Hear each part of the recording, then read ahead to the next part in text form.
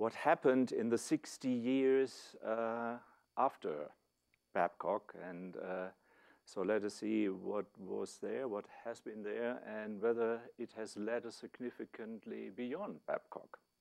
And in the end, I make some remarks on the so-called current paradigm, the flux transfer dynamos, and how well founded they actually are by observations.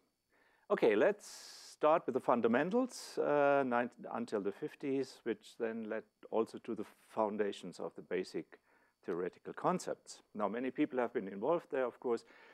Uh, there's no possibility to talk about them all, so I'm being very brief here. Of course, you all know that Schwabe uh, discovered the 11-year cycle, uh, but actually there were some conjectures by the Danish Horrebow uh, years earlier.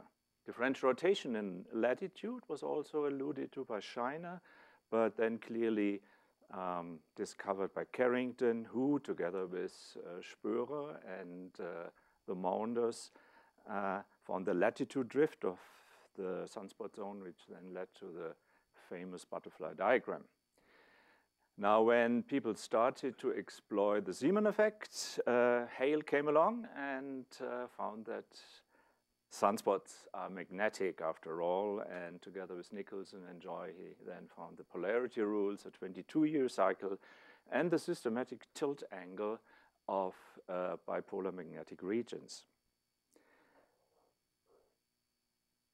During the middle of the century, then Babcock, uh, using the magnetograph, he found the general dipole field of the sun and its reversal in the course of the cycle. So this magnetic observations, they clearly indicate that there is something like a large-scale field underlying solar activity. So it could be proper to use averages in order to describe this. So how did that go? So Larmor was the one who first suggested that uh, the solar dynamo, or that the solar magnetic field could be generated by a dynamo. He assumed a kind of an axisymmetric field there. But Cowling showed that such an axisymmetric field cannot be maintained by a dynamo. And so that was somehow of a problem. I mean, in hindsight, it's a bit strange because if you look at the sun, right, and you see the spots and so on, it's nothing like axisymmetric, right?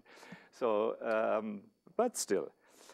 Uh, again, it was Cowling who found or who suggested this one important piece of all the dynamo models, which is the omega effect. So you create a, a toroidal field out of a poloidal field by differential rotation. But how do you maintain, how do you generate the poloidal field? And uh, so people already speculated about um, that convection could play a role there, but Babcock and Cowling uh, clearly stated in a review paper one does not expect an irregular course to build up to give a regular effect. Seems to be a fair statement. But then Gene Parker came along and said, no, there is some regularity after all, and this is being introduced by rotation. And because of the Coriolis force, uh, you get a preferred handedness of the flows, and this is uh, uh, the regularity which is sufficient to let um, a magnetic field being maintained. And then we have the famous Parker loop. So Parker uh, was considering small-scale motions, which then statistically, so to say, their effects add up to a large-scale field.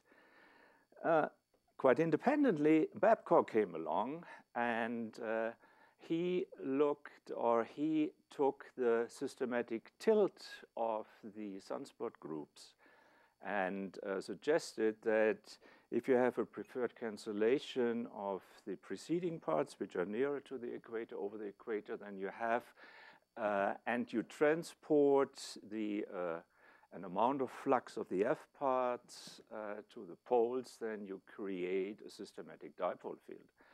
And, and he already alluded that, that this systematic tilt is due to the Coriolis force.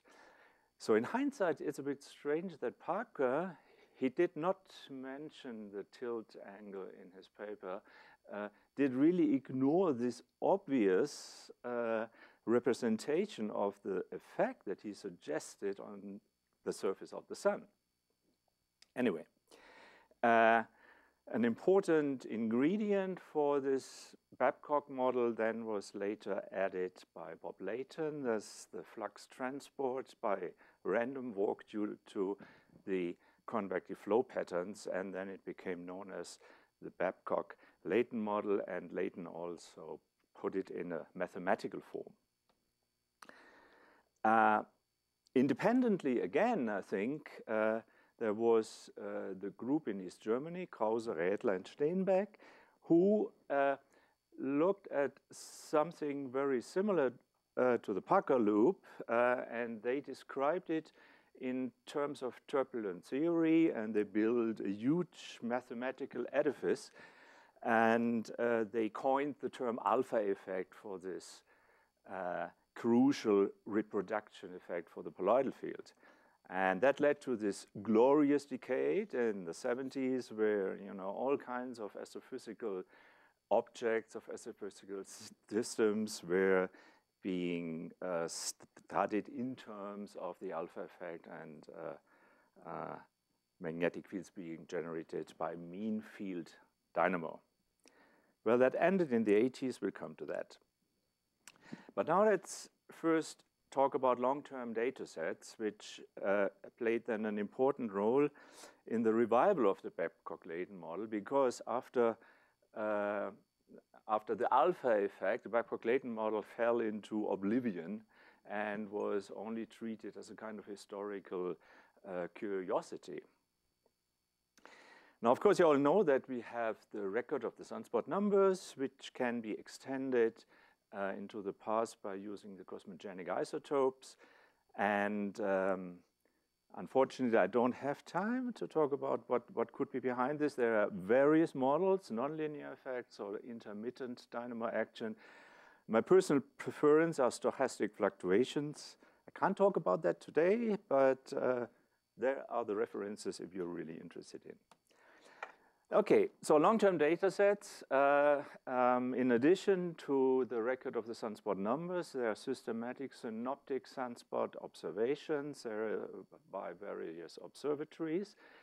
And then the daily magnetograms, um, which led to this very nice representations, a longitudinal average field. Uh, you can draw in uh, as a latitude time diagram, and then you see this very nice butterfly diagrams, and also you see the reversals uh, of the polar fields. Now this was the basis, I think, uh, for the groundbreaking work by Wang and Sheeley, because uh, they showed uh, by comparing simulations with their uh, with these long-term observations that the evolution of the surface field can be uh, reproduced and is determined by the transport of the emerged flux at the surface by the near surface flows. And you don't need anything else. So there is no, so to say, effect from the deeper layers. And uh, you can reproduce uh, the evolution of uh, this longitudinally average magnetic field quite well. And, and this is, of course, an important ingredient of the Babcock-Leighton model uh, because it's basically uh, that the high latitude polar fields are being uh, built up by the transport or the preferred transport of F-part magnetic flux towards the poles. Now, in a little bit more detail, you can now quantitatively, with this long-term data set, look at the evolution of the polar fields. Uh, here for, uh, you have it until 2010 for the North Pole and the South Pole. I don't know which is which. But anyway, you can extend this uh, now until basically now. And what you see is that the latest data indicate that the polar fields now in the current minimum are about the same low level as those in the previous minimum. So let's see what that means because we find uh, there is a strong correlation between the polar field in the minimum uh, in the, um, in the minimum time and the strength or the amplitude of the next cycle. Uh, you can look at the direct measurements of the polar fields or some kind of proxies, um, but you see a clear correlation. And that, of course, would be, so to say, the prediction of the Babcock-Leighton model, because Babcock and Leighton say, okay, it's the flux which is connected mainly to the polar fields, which is being wound up by differential rotation to create the poloidal uh, the toroidal field for the next cycle. But this is a correlation. It does not imply causation, right? It could, in principle, well be that uh, the real poloidal field of the dynamo is hidden down there, um, and what we and the polar field uh, and this hidden field is just produced by the same process. But that's not the case, and uh, you can prove that by an amazingly simple mathematical argument, just using uh, the induction equation and some integral theorems. And then you find that you can determine the net flux, the net flux in a hemisphere, just by a, an integration. Let's see, yeah, by this integral here, which is an integral in latitude or co-latitude over the differential rotation and the radial surface magnetic field. And this is the main source of the toroidal field in the convection zone. And you can compare, you, you have uh, the observations, of course, and so you can compare this uh, with some measure of the toroidal field in the convection zone. You take all the emerged unsigned flux there as a function of time. So say if, if, if uh, every field line, so to say, if the toroidal field emerges at least once, then you can compare this and you see it fits quite well.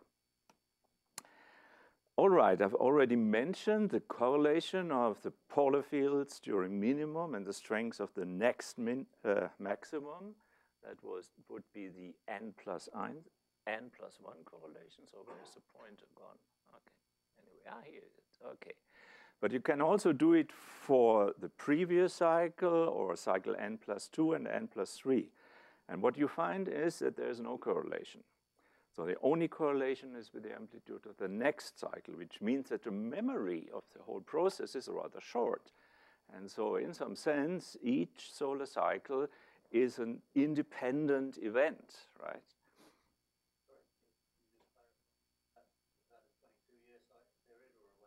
11. Okay, so in the 80s, you had the poleward. Uh, there was a discovery of the poleward meridional surface flow, which uh, was already suggested could be contributed to the flux transport by Babcock, again, in his 1961 paper.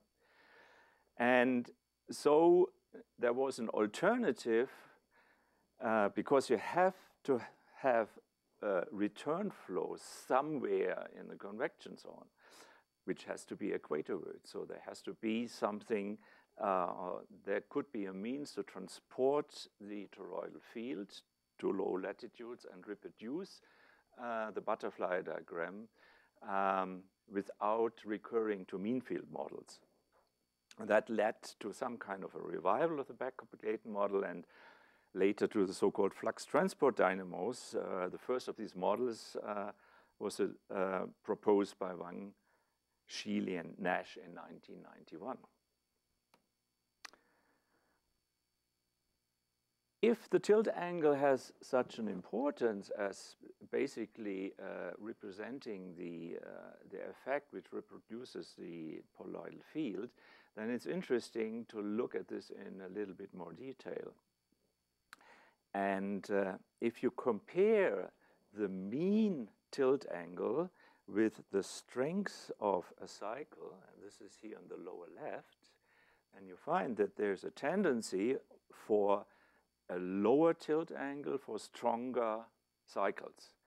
And this is an interesting nonlinear effect in this Babcock-Leighton description uh, because all the other processes uh, are just linear, but you need a nonlinearity there in order to uh, avoid an exponential increase of the amplitude.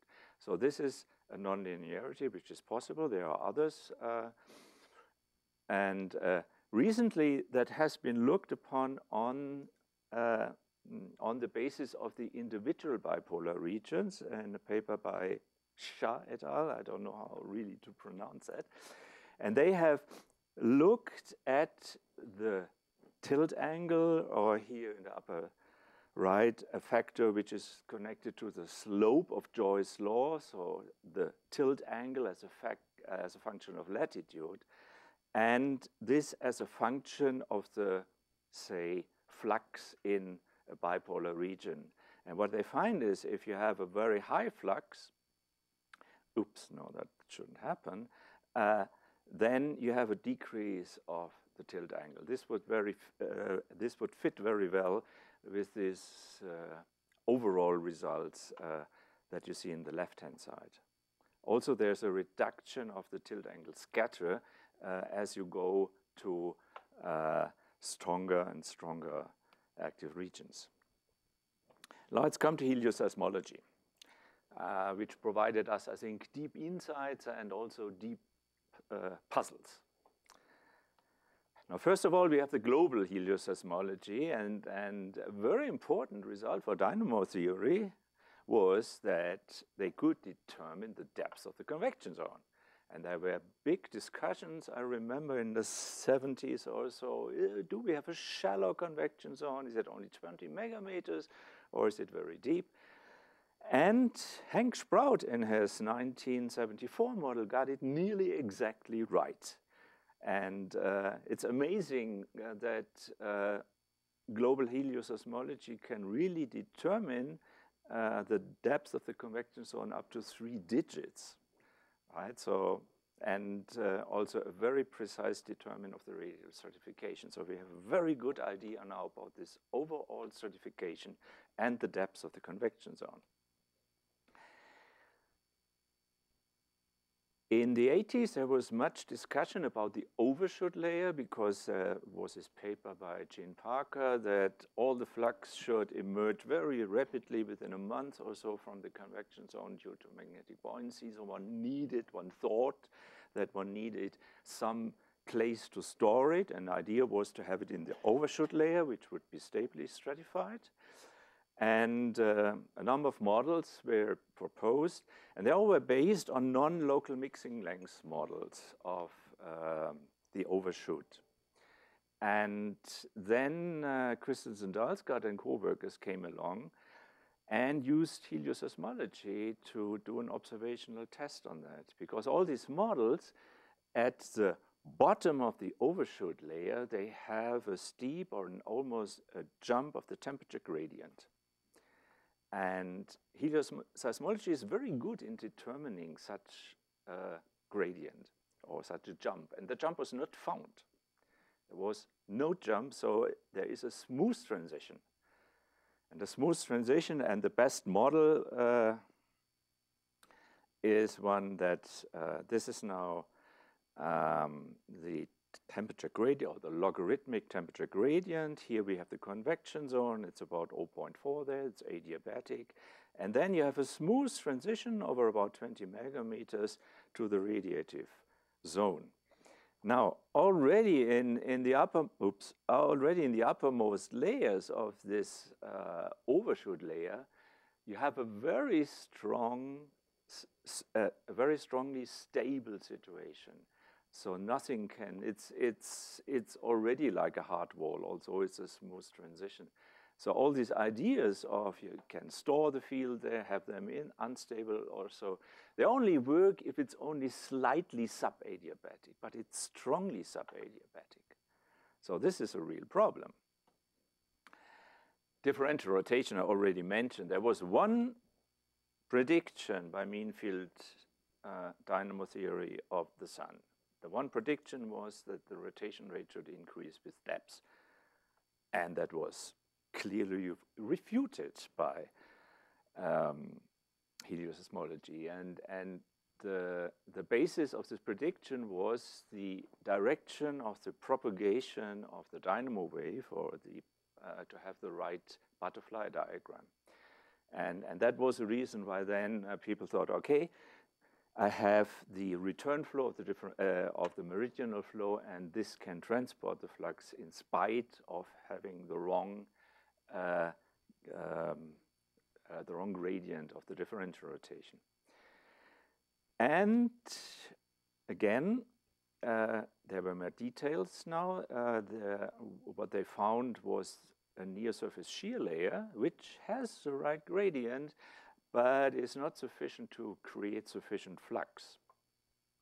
Um, and on the other hand, you have the rigidly rotating core and a narrow shear layer, the so-called tachocline, uh, which would move uh, where the rotation rate moves from the differentially rotating convection zone to the rigidly rotating core.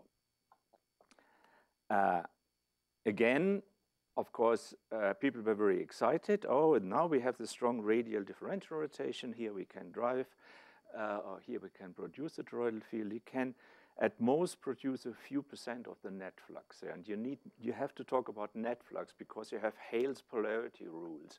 So almost all the emerging fluxes in one direction. So you have to talk about the net toroidal flux here, and only a few percent you can really produce by um, radial differential rotation.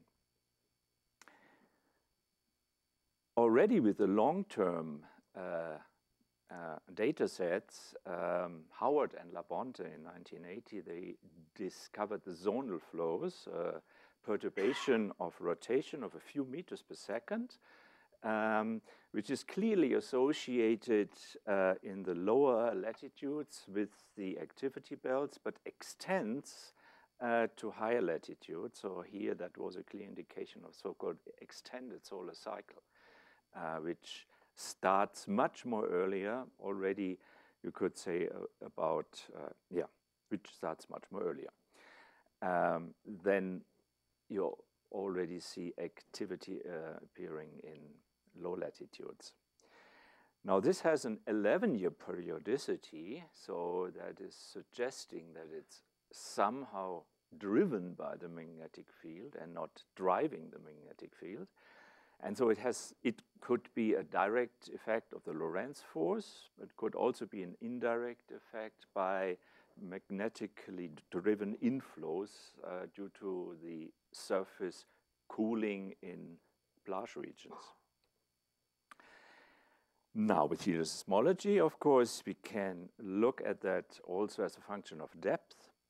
And uh, also what you see over there is that in the higher layers you see also a polar branch which is uh, propagating from mid latitudes to higher latitudes.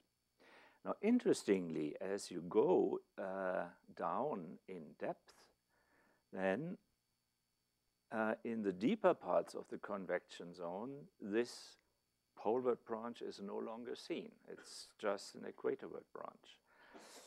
In addition, you can also look at the migration in radius now, and uh, you can draw um, radius time diagrams for various latitudes. And what you see there is that in the lower latitudes or near the equator, you find almost no propagation. Then at 30 degrees, you see a downward propagation. But in higher latitudes, you see an upward propagation. I think these are interesting constraints for dynamo models, and uh, but they haven't, to my knowledge, they haven't been exploited until now.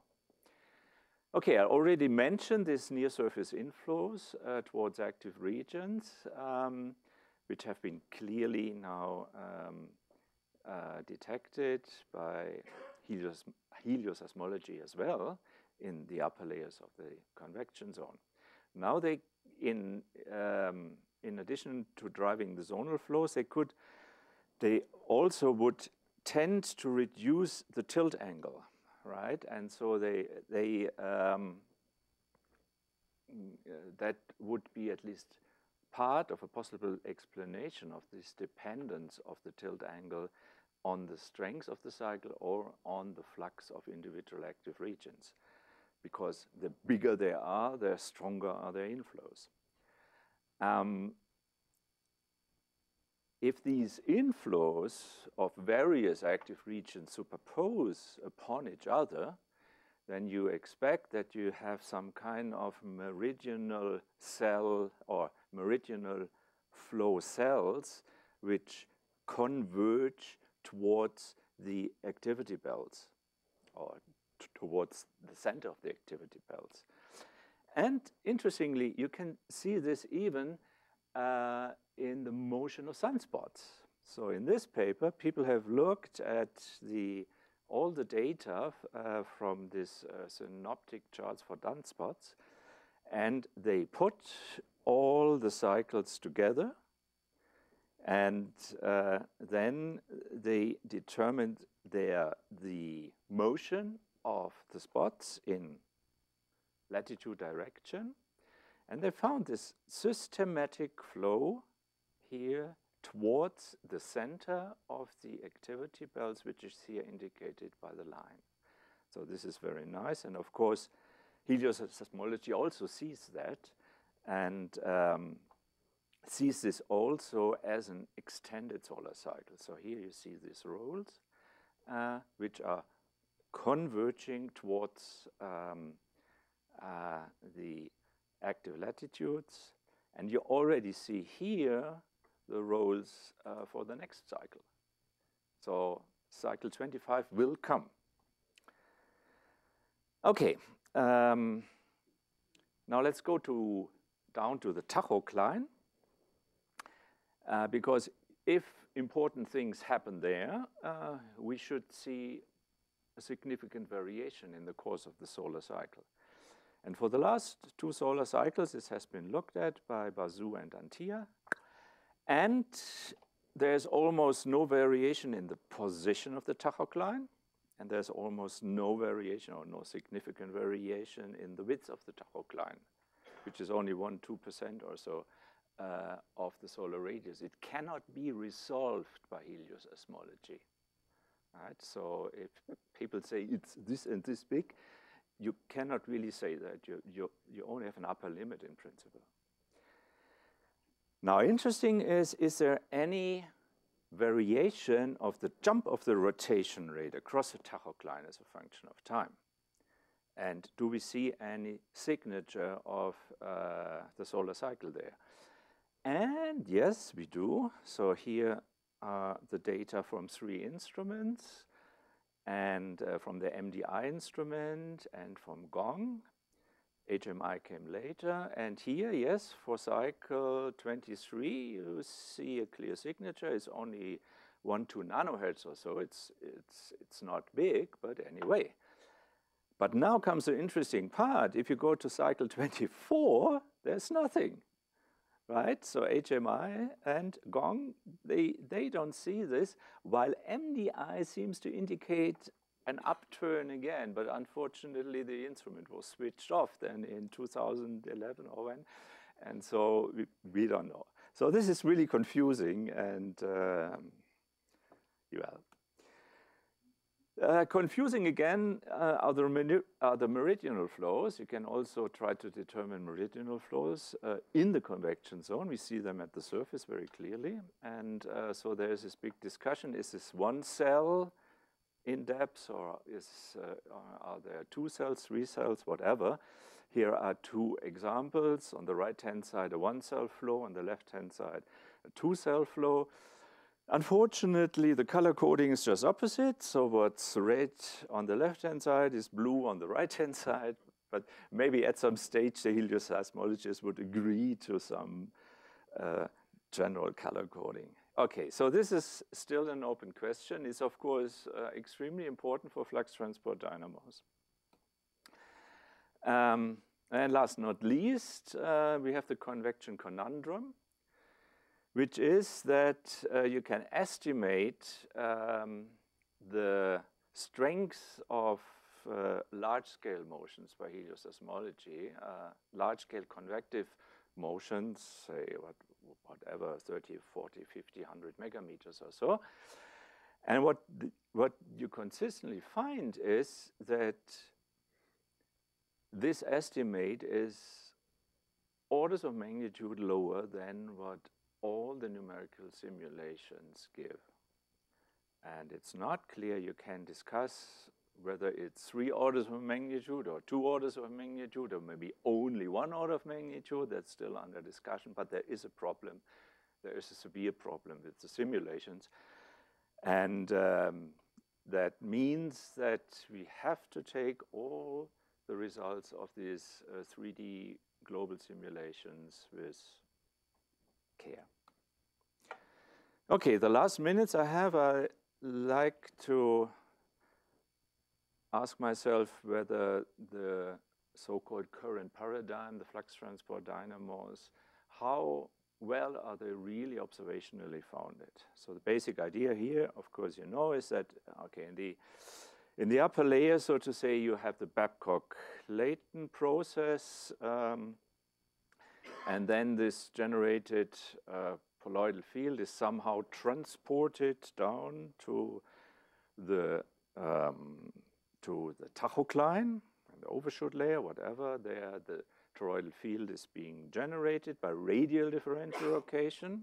Well, I've already uh, tried to explain that, that this is not very efficient. But anyway, then it's being transported uh, by the return flow, the deep return flow, if you only have one cell, towards the equator. And then uh, magnetic instabilities, magnetic buoyancy then leads to flux emergence. So this is basically the idea here.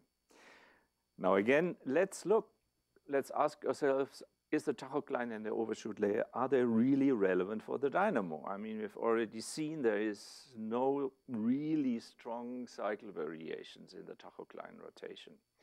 And uh, if the field is really strong as these models uh, indicate, uh, then the kinetic energy in the differential rotation in the tachocline is comparable to the magnetic energy. So you should see a strong variation of the tachocline uh, rotation, which you don't. Again, it's also a question because if you eat up all this uh, shear uh, by the magnetic field, of course, you have to maintain the shear somehow. And you cannot do it by just saying, okay, this is fixed uh, uh, by the rigid rotation at the core. And, and so you always have to have some kind of a shear. Uh, that's not true because this interface to the radiative core cannot support any shear stress. And so um, this does not work. So you need you would need a very efficient angular transport mechanism within the convection zone in order to maintain this, and uh, this is not really clear how that should work. Then we can show that the toroidal flux, which is generated by latitudinal differential rotation, is already sufficient to uh, supply the emerged flux. So uh, in principle, you do not need any other source. And uh, as I've also discussed helioseismology indicates a strongly subadiabatic uh, overshoot layer, really strongly subadiabatic, where nothing can penetrate, neither magnetic field nor uh, meridional flow. Okay, so my only remark about the stars, because we'll hear much more about this later. Um, if you look at partly and fully convective stars. And if the tachocline and the overshoot layer and things like that should really play an important role, then you should see a clear distinction between partly and fully convective stars. But if you look at uh, the relationship between activity and rotation, so activity here increases on the, uh, on the vertical axis, rotation to the left, and then you see this general pattern. Down here is the sun. It's not a very active star. In red, you have the fully convective stars, which have no uh, overshoot layer, no tachocline, and the open cycles are those which have. And they are basically the same, right? And uh, there also are activity cycles uh, seen, have been seen in, in very cool M dwarfs. All right, uh, 3D simulations, they have their problems with the convection conundrum, but what they clearly show is that you can have cyclic evolution more or less comparable to the sun uh, with a dynamo which completely acts within the convection zone. So this is not a showstopper.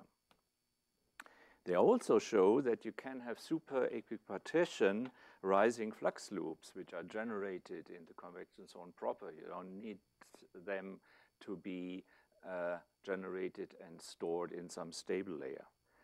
So these are strong indications that uh, you can do it within the convection zone.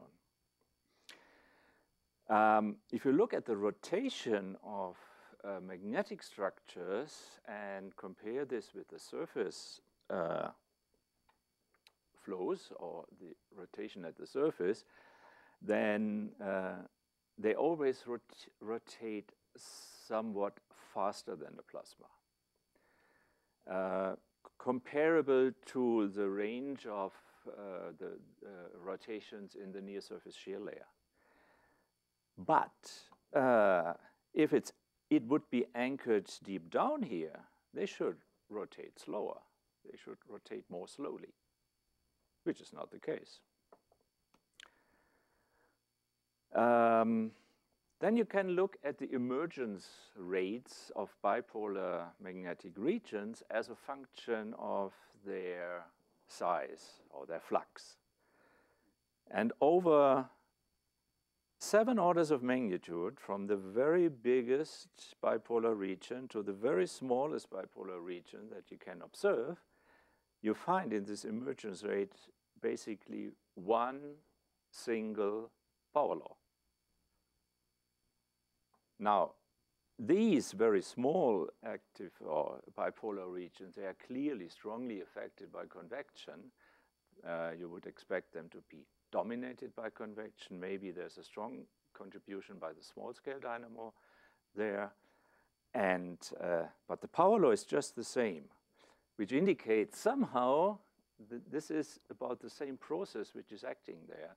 And that also indicates that convection seems to play a much more important role than we thought, uh, even for the strongest bipolar regions. If you look at the properties of the emergence, uh, if a bipolar region emerges, you have a, a horizontal expansion uh, in, in uh, longitude, and all the thin flux tube simulations, for instance, they indicate, because basically because of, uh, of the conservation of angular momentum, that you have a rather strong asymmetry of the shape of this emerging thin flux tube. And this, of course, is then reflected by an asymmetry in this expansion. Now, if you look at the observations, then um, no such an asymmetry is seen. They emerge perfectly symmetrically.